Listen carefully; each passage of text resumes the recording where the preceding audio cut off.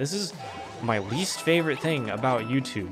Once one thing doesn't do well, YouTube takes that as oh, like people people have lost interest or whatever, and then so it, it doesn't push your the rest of your stuff as hard. And as a result, you can literally see right after that that golf video, I started uploading more regular Mario Maker videos again because I was like, okay, it's gonna happen, so I'm gonna offset it by doing like normal. I'll do normal variety, normal variety, like that.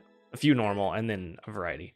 And then you can literally see that the videos just don't do as well for a little bit. Like, and it's so frustrating too. And that's why it, it really sucks to have a video not do well because you know there's gonna be that dip and it it hurts, man, and it it discourages you from trying new things because you know like okay if i try this thing and it fails like i'm i'm gonna pay for it in the long run. Why it has to be that way i don't i don't know. I wish i knew. I wish i could.